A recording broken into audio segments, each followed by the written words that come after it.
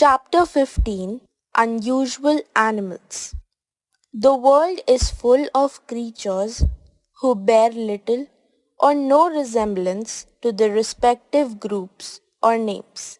A few such examples are given below.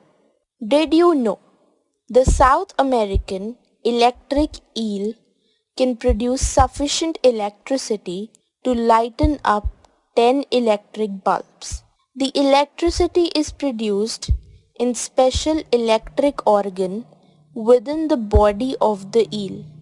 Its current measures 500 volts and can kill an unaware swimmer who touches the fish. Chapter